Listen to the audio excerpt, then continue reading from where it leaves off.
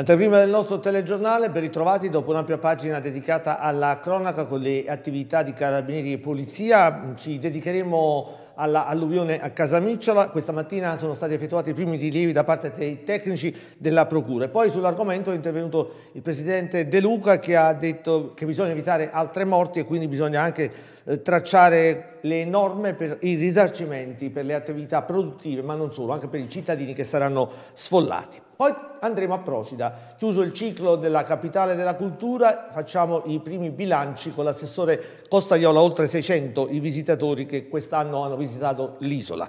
Poi l'ampia pagina sportiva, innanzitutto il pareggio discusso dell'Ischia Calcio con l'Ercolanese, ascolteremo quelle che sono state poi le controdeduzioni del presidente Taglialatela, la vittoria fuori casa del Real Forio, eh, di questo si discuterà, di questo ed altro durante il corso della trasmissione sportiva a bordo campo, il commento. Ma noi ci rivediamo come sempre nel telegiornale tra poco dopo la pubblicità. Il Natale è più buono con le grandi offerte della ditta La Raspata. Scegli i nostri prodotti congelati e surgelati. La Raspata è la tua garanzia per grande qualità a prezzi super convenienti. Crocchè medi rispo 500 grammi pronto forno 3,40 euro. Patate a Vico, taglio casereccio 750 grammi 1,99 euro. Misto funghi di biase 300 grammi 1,70 euro. Baccalà porzioni alfri o pastellati 500 grammi 5,60 euro. Cuori di baccalà al naturale, confezione da 750 grammi 8,99 euro. Vongole con guscio mare perla 500 grammi 3,30 euro. Code di gamberi sbusciati mare perla 500 grammi 6,20 euro. I prodotti La Raspata li trovi nei migliori supermercati e negozi alimentari alimentari. Telefonaci allo 081 90 27 56 081 90 31 234 380 902 81 37 anche Whatsapp. Visita il nostro sito per conoscere tutte le nostre proposte. A Natale a tavola c'è più gusto se scegli la raspata. Specialisti del freddo. Vai Renato! Sull'isola di Ischia, per l'accoglienza di qualità, Cala degli Aragonesi la Cala degli Aragonesi è l'approdo da diporto per vivere la vacanza a mare tra comfort e tranquillità. L'efficienza dei servizi, la comodità della struttura, la professionalità del personale, gli alti standard tecnologici, l'attenta sorveglianza, il rispetto della privacy ti accolgono in un 5 stelle del mare. Tanti ed esclusivi servizi sia in banchina sia sul territorio per risposte precise alle tue esigenze. Sull'isola di Ischia, nel porto di Casamicciola Terme, Cala degli Aragonesi L'accoglienza a mare a 5 stelle. Centro diagnostico Ecorad del dottor Renato Regine, una struttura medica all'avanguardia per la salute degli isolani. Ecorad ti offre tecnologie di ultima generazione per diagnosi sempre più approfondite e precise. Per i nostri pazienti abbiamo scelto la modernissima Magnetom Sempra Magnete, l'ultimo software di risonanza magnetica ad alto campo da 1,5 Tesla, ideale per analisi del cranio, colonna vertebrale, dello scheletro, dell'addome superiore ed inferiore, particolarmente indicato per diagnosi della mammella e la prostata. Una macchina fondamentale per la prevenzione delle malattie. La nuova Mock Primus per l'osteoporosi e la nuova TAC Siemens Somaton. Ecorad è centro specializzato per mammografia. Siamo in Rione Genala 16 a Forio. Telefono 081 99 71 82. Ecorad. Medicina di ultima generazione per la salute degli isolani. Albergo Carlo Magno sull'isola d'Ischia. Un posto da sogno. Un panorama mozzafiato. Il luogo ideale per una vacanza speciale. Hotel 4 stelle. Tutti i comfort. Quattro piscine, palestra, camere e residence con arredamento in stile mediterraneo. A pochi passi dai centri storici di Forio e di Lacco Ameno. Con agevoli collegamenti per le spiagge più belle e per il parco termale Negombo. Servizio navetta gratuito. Hotel Carlo Magno. Per una vacanza dove i sogni diventano realtà. L'Hotel Carlo Magno ti consiglia il ristorante La Beccata caccia, cucina tipica ischitana e piatti mediterranei. Pesce sempre freschissimo. Per i tuoi momenti più belli, per una serata speciale, per cerimonie e matrimoni. Hotel Carlo Magno e il ristorante La Beccaccia. Emozioni uniche tra il cielo e il mare.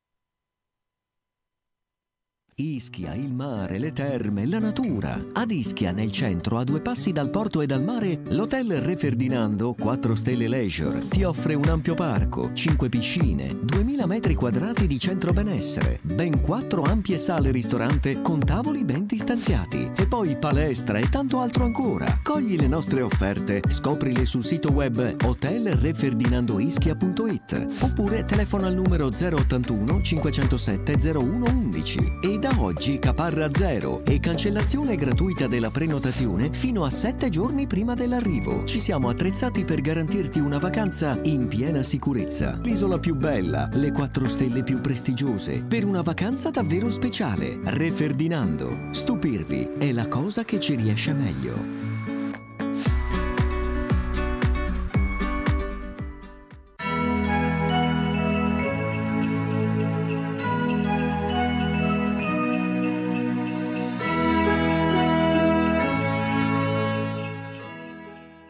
Pubblicità Media and Service. Buono pubblicità. Agenzia stampa e propaganda. Dal 1962 nuove idee per l'isola di Ischia.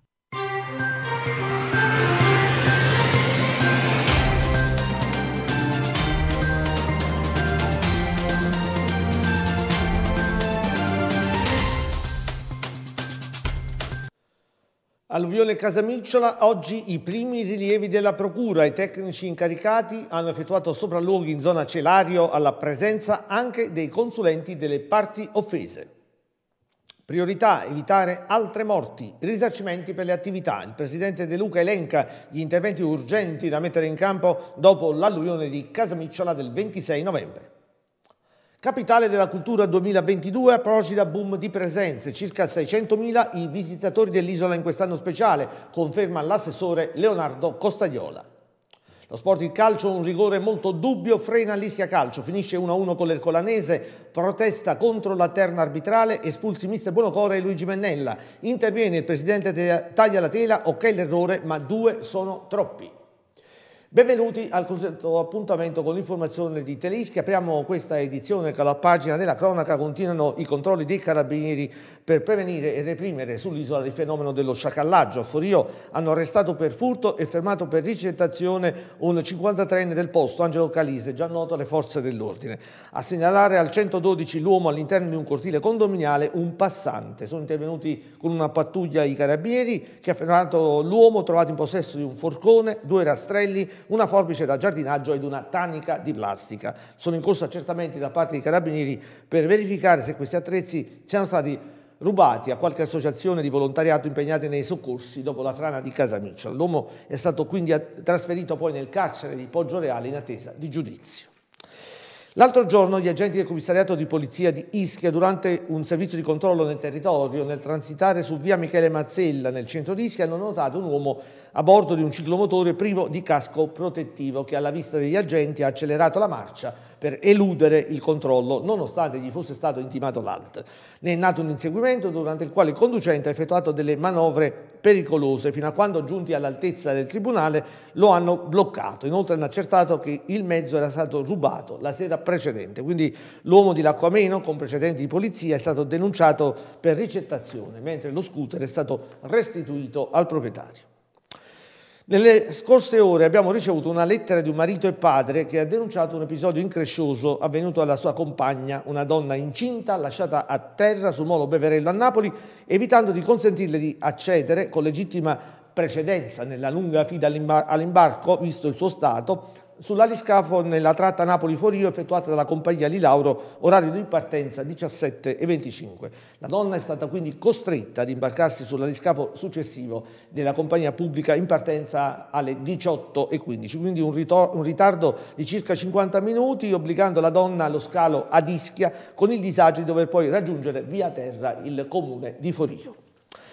Tragedia questa mattina sull'isola di Procida. Adele Scotto Lavinia, 74 anni, è stata ritrovata gravemente ferita sulla spiaggia detta del Cottimo verso le 11. È morta poi in ospedale. Se sia caduta accidentalmente dalla parete che sovrasta la spiaggia o se si sia buttata è difficile da dirsi. Le indagini delle forze dell'ordine chiariranno sicuramente nelle prossime ore i dettagli di questa triste vicenda. Tanto dolore e tanti dubbi che hanno avvolto la comunità di Procida che è stata informata subito del fatto. La donna era benestante, aveva una vita tranquilla, con una famiglia unita, un marito e i figli. Sul posto della tragedia stamattina sono giunti i medici del 118 e la Guardia Costiera è stata trasportata con un gommone della Capitaneria di Porto di Ischia al porto di Procida e quindi all'ospedale Gaetanina Scotto di Perrotolo. Purtroppo le condizioni di Adele sono parse subito troppo gravi, così il decesso inevitabile è giunto poco dopo. Andiamo a Casa Micciola. Questa mattina, come previsto, si è tenuto il primo accesso al sito di via Celario da parte dei tecnici incaricati dalla Procura di Napoli nell'ambito delle indagini contro ignote contro ignoti curate dai sostituti procuratori Stella Castaldo e Mario Canale a proposito del disastro che il 26 novembre ha colpito la cittadina termale. La geologa Lisa Borgatti e l'ingegnere ambientale Armando Bratt dell'Università di Bologna, accompagnati dai carabinieri e dai vigili del fuoco, sono stati sul posto. Obiettivo dei consulenti della Procura quello di chiarire le cause della frana, soprattutto quali opere avrebbero potuto incidere sul corso degli eventi che hanno portato alla morte di 12 persone. Sono 31 in tutto le parti offese, con alcuni avvocati che hanno nominato anche la società Quota Zero SRL come consulente di parte per assistere ai rilievi irripetibili dei tecnici del Tribunale. Sul posto stamattina anche alcuni tecnici della protezione civile al lavoro insieme alla Università di Napoli Federico II. Nessun commento filtra per quanto riguarda i rilievi di oggi, che sono comunque da intendersi solo come il primo appuntamento dei tanti che serviranno a istruire il caso e a chiarire eventuali responsabilità per un procedimento che in qualsiasi modo dovesse terminare sarà comunque emotivamente terribile per tutte le persone coinvolte. Ed il presidente della regione Campania, De Luca, è tornato stamattina a parlare di Ischia e ha fatto il punto sugli interventi e gli sforzi che la regione intende mettere in campo per continuare a sostenere la popolazione di Casamicciola gravemente colpita. Sentiamo il presidente. Parliamo con uh, rigore e serietà di questo problema che, che dopo dieci giorni subentrasse una, un fenomeno di dire, rimozione, io lo davo per scontato. Ovviamente bisogna dire con chiarezza che il ritorno nelle abitazioni precedenti presuppone un piano per la sicurezza ed una verifica delle condizioni di sicurezza. Non possiamo correre il rischio di avere altri, altri morti a Ischia. Il lavoro è in corso, credo che si debba fare di più per dare certezze come dire, rispetto alle attività produttive ma anche alle famiglie in relazione alla situazione che si è determinata. Voglio dire questo, dobbiamo prevedere dei risarcimenti per le attività produttive interrotte, dobbiamo prevedere per la ricostruzione anche la monetizzazione per chi dovesse scegliere di andarsene perché la vecchia casa non è in sicurezza quindi dobbiamo prevedere delle misure nazionali di aiuto per Ischia e anche qui occorre sensibilità e occorre serietà, serietà per evitare che i cittadini che sono stati sgomberati vivano questa situazione con un senso di abbandono totale. Per quello che ci riguarda come Regione Campania sapete che siamo stati l'unica istituzione a stanziare da subito il doppio di quanto ha stanziato il governo nazionale per aiuti ad Ischia. Cercheremo nei prossimi mesi anche di dare un aiuto alle singole persone, alle singole famiglie, se da parte del governo non ci saranno gli stanziamenti necessari. E Rosa Iacono, presidente dell'Associazione Disabili e della Croce Rosa, ha lanciato un appello in una nota alle famiglie di Casamicciola colpite dall'alluvione e con sincera e vera commozione che dedico un forte abbraccio alle famiglie delle vittime e a tutte le famiglie sfollate dalle loro case. Il mio cuore, dice Rosa Iacono, e credo quello di tutti gli isolani, è sconsolato e rattristato per quello che è successo e non ci sono parole per descrivere l'amarezza che tutti noi abbiamo nel nostro intimo e nelle nostre anime a pochi giorni dal Santo Natale. E questa mattina, presso il deposito EAV di via Michele Mazzella d'Ischia, Don Marco Trani ha celebrato la Santa Messa natalizia. Quest'anno si è trattato di una celebrazione con un sapore diverso per il clima che si vive sull'isola a causa della tragedia che ha investito anche un dipendente dell'EAV che ha perso dei familiari e che ha conferito un tono differente alla celebrazione di quest'anno. Questo aspetto è stato sottolineato anche dal presidente di EAV Umberto De Gregorio che è giunto sull'isola per presenziare alla Santa Messa. Vediamo il servizio. Festeggiare infatti purtroppo quest'anno non è la parola giusta, è un momento di raccoglimento nel quale cerchiamo di dare un segno visibile alla vicinanza che c'è al territorio in generale, a un nostro dipendente che ha avuto una strage nella sua famiglia e quindi siamo qui per dare il segnale di una vicinanza che per la verità non è mai mancata. Credo che su Ischia EAV stia svolgendo un lavoro importante, negli ultimi anni era cambiata completamente la situazione, pullman nuovi, servizio intensificato, nuove assunzioni, ricavi da traffico che erano saliti, oggi ovviamente anche noi abbiamo le nostre difficoltà connesse a questa emergenza straordinaria e bruttissima e stiamo facendo la nostra parte però nel dare un contributo alle esigenze che di volta in volta si manifestano sul territorio, cambia il servizio quasi ogni giorno perché a secondo delle viabilità, insomma è un momento complicato e per Ischia c'è. Ovviamente in questo momento direi soprattutto per Casamicciola e i comuni che sono vicinissimi a Casamicciola. Eh, sì, credo che stiamo facendo un servizio, lavoriamo in stretta sinergia con il commissario, siamo molto vicini ai problemi dell'ospedale, abbiamo istituito una navetta per evitare che il personale medico e paramedico potesse avere dei problemi nel raggiungere l'ospedale, insomma stiamo facendo quello che è giusto fare e che è necessario fare, siamo a disposizione del territorio. Certamente questo appuntamento anche annuale che viviamo ogni anno no, con, con, i dipendenti dell'EAVA, anche con il direttivo, è sempre un momento importante no, per celebrare il Natale e per celebrare anche no, la nascita del Signore. Sicuramente questo è un Natale diverso rispetto agli altri anni, segnato anche dal dolore, dalla sofferenza per le vittime, per questa tragedia che fra poco a Natale sarà proprio un mese dall'alluvione di Casamicciola e credo che però vivere bene, intensamente, anche spiritualmente il Natale sia anche la cosa più bella, il Natale ci fa festeggiare il Signore che si incarna nella nostra storia, fatta di dolori, di angosce, di tristezza, di pianto, ma anche di gioia perché il Signore continua a rinascere anche in queste situazioni. Un messaggio, immagino, questo anche per i cittadini di Casa Micciola tutti.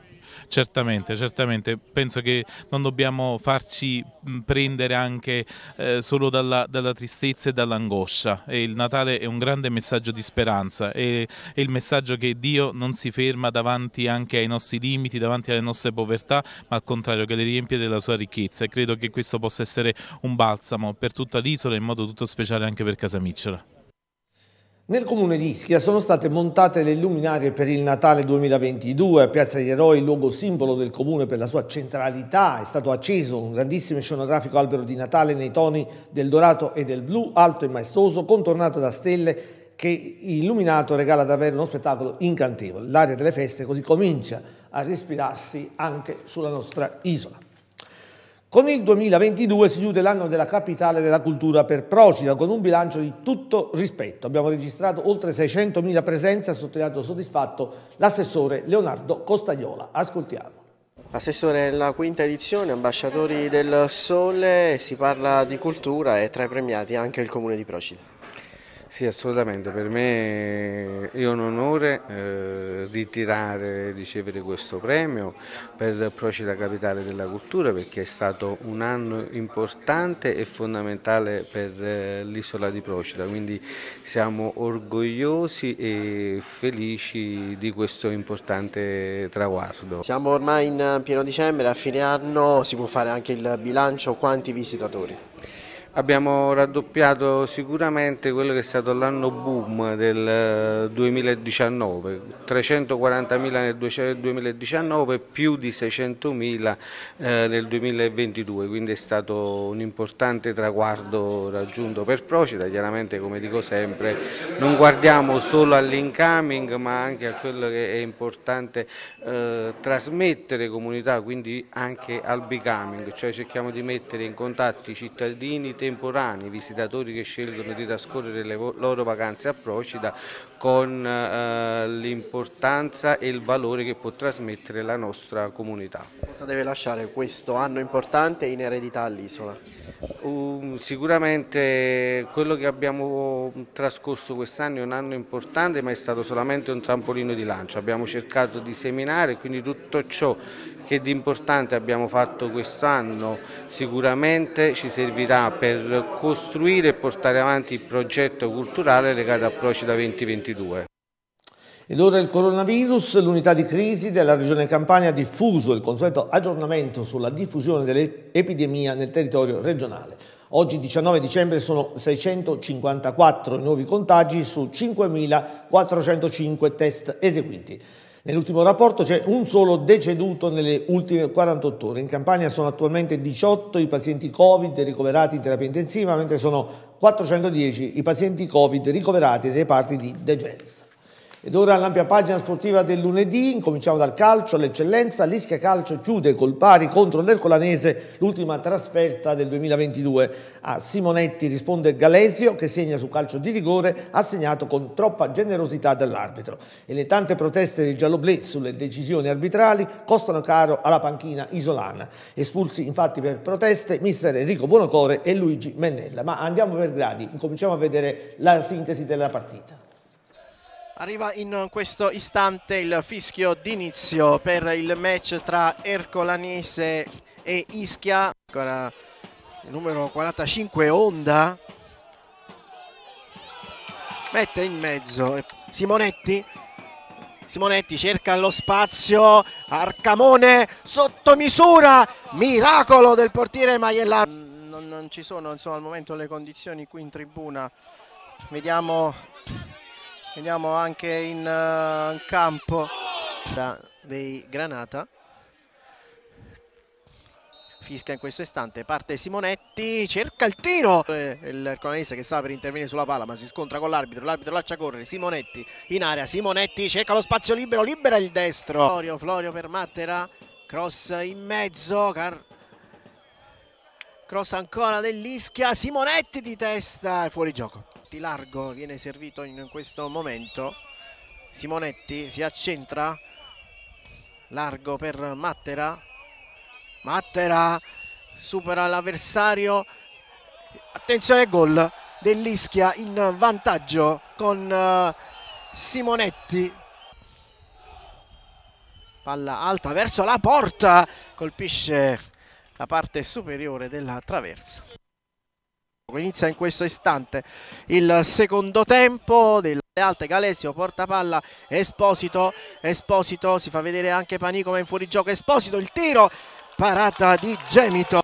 Simonetti chiama lo schema, è lui che va alla battuta, tira in porta. Cross in mezzo, anticipa tutti. Panico, anche Pastore. Cardone Cardone si accentra, entra in aria, tiro! Manata di eh, Mazzella. Per poco Simonetti non guadagnava palla. Ora ancora Simonetti, Caparbio, Simonetti carica il destro. Ora Galesio, ancora contatto con Pastore, l'arbitro fischia calcio di rigore. Parte Galesio, il tiro e gol. Aveva indovinato l'angolo. Cross in mezzo, la palla passa. Matra ci mette una pezza, poi il tiro di Cardone. Dato da Matute, poi Florio. Florio riesce a mettere la palla in mezzo. Niente, non c'è nulla secondo l'arbitro. Onda raddoppiato da Buono e Arcamone, cross in mezzo, Galesio, Galesio e finisce in questo istante la partita tra Ercolanese ed Ischia. In seguito ai due episodi che hanno condizionato la partita tra Ischia Calcio ed Ercolanese di ieri pomeriggio, la società gialloblea ha voluto stigmatizzare le decisioni prese dal direttore di gara Stefano D'Amato della sezione di Salerno.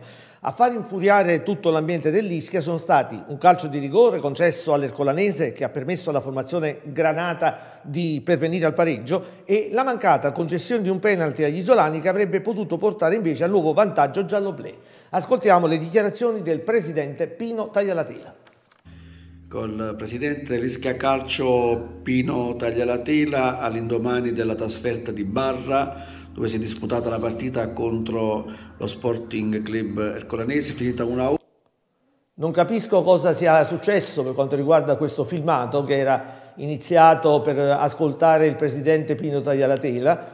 Adesso lo verifichiamo un attimo nella sua realizzazione. Intanto, proseguendo con il telegiornale sulla stessa scia, un altro effetto è avvenuto in casa Ercolanese in quanto terminata la gara del, col pareggio di 1-1 la società Granata ha ieri esonerato il suo allenatore Salvatore Ambrosino. Al suo posto è stato nominato mister Luigi Squillante. Nell'attesa di recuperare le dichiarazioni del presidente della Tela, andiamo invece alla vittoria in trasferta per il Real Forio. I biancoverdi hanno sconfitto il Savoia 3-2 grazie alla rete di Guatieri e alla doppietta di Sorriso. In mancanza di altro, vediamoci la sintesi. Ma ecco che arriva il fischio d'inizio di Savoia Real Forio. Primo possesso per gli ospiti, palla passa, bossata poi a giusta verso De Cristoforo che preferisce tornare da Landi, arriva il pressing comunque su Landi che rischia qualcosa regalando palla a Yeliganin, palla al centro e arriva il vantaggio punizione pericoloso.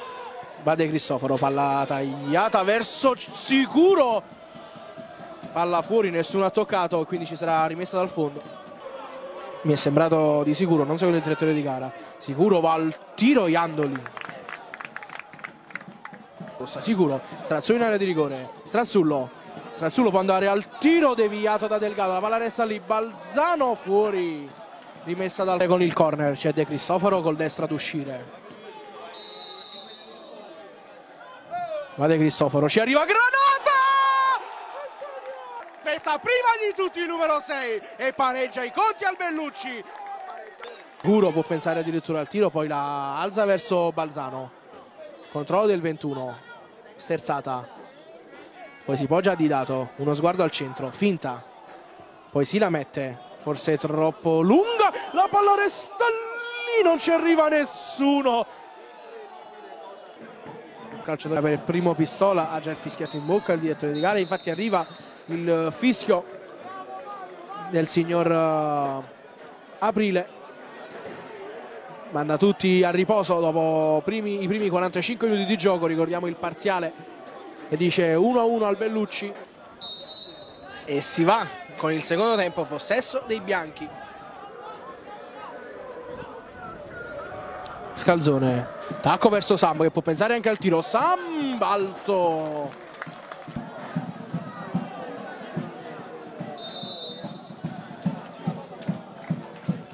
è uno schema scalzone forse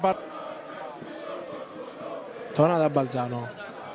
Lo sguardo al centro scalzone strattonato scalzone non trova la porta. Pistola sterzata e palla al centro verso Sorriso che incornata del 18 e 1-2 al Bellucci. Ma la battuta del calciango sul primo palo la palla resta lì in posizione regolare Sorriso ed è 1-3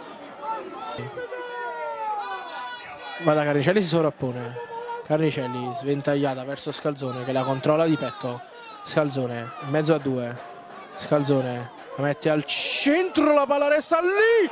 Alto Carni. De Cristofaro. Sciabolata verso Scalzone che va al tiro. Angelo Scalzone 2 a 3. Si riapre il match da Don Marco che allarga da Gargalini, si gira, sicuro, va al tiro e un piazzato che finisce tra le braccia di Andoli. Probabilmente finirà qui il match. Fischia tre volte il signor uh, Aprile. game over al Bellucci, Savoia 2, Real Forio 3. Torniamo quindi sulla notizia delle problematiche, sulle polemiche in casa di Schiacalcio, sulla tenuta e sugli effetti dell'arbitro di ieri in casa con il Collanese. Avevamo annunciato e adesso lo ascoltiamo, le dichiarazioni ufficiali del presidente dell'Ischia Pino Tagliatella. Sentiamo. Premetto che non è il nostro costume, soprattutto mio costume, parlare degli arbitri, ma lo faccio solo ed esclusivamente per la grande prestazione che hanno fatto i miei ragazzi, che non meritavano sicuramente di subire il gol del pareggio in quella, in quella situazione. E consiglia all'arbitro di andarsi a rivedere la partita perché potrebbe essere importante per lui per il proseguo della sua carriera. Sicuramente questi sono i due episodi importanti che eh, non, non, giustifica sicuramente il fatto che l'Ischia non abbia vinto. Io però credo che quando si fanno, si fanno eh, tanti sacrifici come facciamo tutti noi eh, società di questo, di questo campionato, c'è bisogno anche che eh, l'arbitro quando sbaglia eh, sia lì a, a, capire qual è l'errore per non commetterlo poi in futuro. Oggi ci capita dall'Ischia, magari un'altra partita ci può capire un'altra squadra dove si fanno tanti sacrifici. Noi presidenti facciamo veramente tanti sacrifici, quindi vorremmo che le partite si svolgessero regolarmente, senza nessun tipo di problema. L'errore ci sta, sbagliamo tutti. Un errore ci può stare, due mi sembra un po' troppo.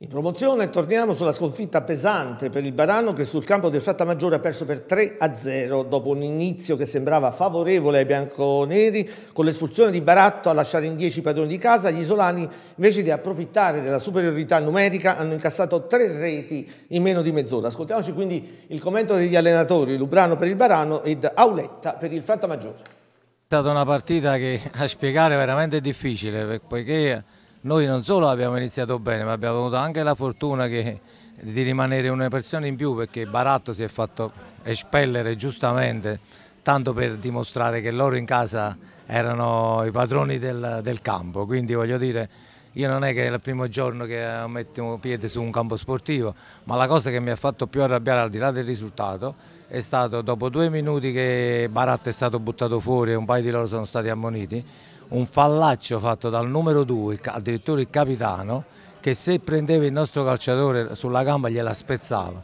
Questo non è calcio, però questo non significa che noi abbiamo perso per queste cose qua. La squadra si è dimostrata non in fiducia, non in fiducia di, di loro stessi, perché da una situazione di vantaggio ci siamo complicati la vita in 10 minuti perché praticamente invece noi dovevamo far sbollire i, i loro ardori e poi colpirli. Invece ci siamo, ci siamo letteralmente fatti nelle mutandine. Diciamo che l'inizio è stato un po' thrilling come si suol dire, pronti via c'è stata questa, questa espulsione, però nonostante ciò i ragazzi si sono ricompattati subito, hanno avuto una forza mentale, un carattere enorme e, in appena mezz'ora l'hanno chiusa e come hai potuto vedere anche nella ripresa avremmo potuto avremmo potuto per ben due o tre volte eh, magari, magari, fare il quarto. Abbiamo avuto due occasioni importanti per chiuderla subito a inizio ripresa pronti via. Abbiamo tenuto botta per tutta la gara, abbiamo concesso credo nulla, il nostro, il nostro portiere è stato inoperoso, quindi voglio sottolineare l'enorme prova dei ragazzi sotto tutti i punti di vista, da un punto di vista mentale perché non era facile dopo quell'espulsione pronti via, ma anche da un punto di vista tecnico perché abbiamo fatto giocate di qualità, giocate importanti e prestazione da incorniciare. Questa sera torna come ogni lunedì l'appuntamento con la trasmissione sportiva di Teleischi a bordo campo il commento, ospite della puntata il calciatore Filippo Florio, conduce il direttore Enrico Buono, coadiuvato in studio dai giornalisti Giuseppe Buono e Claudio Iacono e da remoto invece Marco Altore. La trasmissione darà ampio spazio alla formazione giallo-blu, protagonista di una brillante stagione ma particolarmente penalizzata nell'ultima trasferta con l'Ercolanese, ma anche al Real Forio Corsaro sul campo del Savoia. Ovviamente come sempre il programma è corredato da servizi filmati e interviste sugli incontri del eh, weekend. La trasmissione andrà in onda in diretta dopo questa edizione del nostro telegiornale. Passiamo al calcio a 5 in Serie D, la bella vittoria di sabato scorso per l'Epomeo che in trasferta al Maracanã Club di Bacoli ha superato per 4 a 3 il Flegraios. Ascoltiamo la soddisfazione di Giorgio Voso, tecnico degli Isolani, e di Andrea Scamardella della squadra avversaria. Sì, eh, fa piacere per i tre punti, fa, fa, piacere soprattutto per la prestazione a livello di, di, di voglia, di, di, determinazione che ci abbiamo messo in campo e poi se dobbiamo andare a vedere la partita in sé per sé abbiamo sempre questo problema che sotto porta manchiamo troppe volte il gol e in modo anche banale a volte. È un aspetto sul quale si dovrà cercare di crescere. Dal punto di vista personale il campo che sensazione le ha dato, mister? È tornato a fare una sgambata? Eh, sì, ma per, per, forza di cose, perché purtroppo mancavano troppi, troppi e troppi giocatori, stavo dentro, a quel punto mi sono buttato anch'io. Andrea Scamardella al termine di Flegraios Epomè, una partita molto equilibrata, eh, nel secondo tempo avete dato davvero tutto, avete eh, provato a eh, vincerla, purtroppo non ci siete riusciti. Innanzitutto volevo fare i complimenti alla squadra avversaria che penso sia una delle compagini più organizzate che abbiamo incontrato finora, eh, dentro e fuori dal campo, per serietà e organizzazione anche di gioco. E ci tenevo a fare questa premessa. Poi per noi è iniziato un campionato in modo difficile perché per le prime quattro giornate abbiamo avuto i nostri giocatori più forti, poi ci sono stati infortuni, squalifiche e varie necessitudini, quindi sono le prime partite che giochiamo con la rosa al completo e penso abbiamo fatto una buona partita contro una buona squadra, quindi dobbiamo essere soddisfatti e cercare di migliorare per la ripresa del campionato. Ed ora una notizia di pesca sportiva, un 2022 pieno di premi e riconoscimenti per Tony Panico, l'atleta campano di pesca sportiva, Big Game tesserato con Ischia Fishing, ha ricevuto a Venezia un altro riconoscimento importantissimo, si tratta dell'ambito Cavallo d'Oro Rai per premio comunicazione per l'anno 2022. Ed ora come sempre prima di chiudere spazio al meteo, vediamo che tempo farà sulla nostra regione. Previsioni per domani. Al mattino, sulle coste, bel tempo, con cieli quasi sereni. In montagna, bel tempo, con cieli sereni.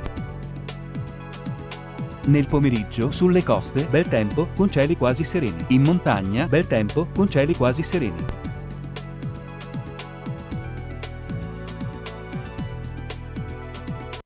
Bene, noi chiudiamo qui, vi lascio in compagnia in diretta con a bordo campo il commento al direttore Enrico Buono e i suoi ospiti e noi ci ritroviamo invece alla edizione delle 14. Arrivederci.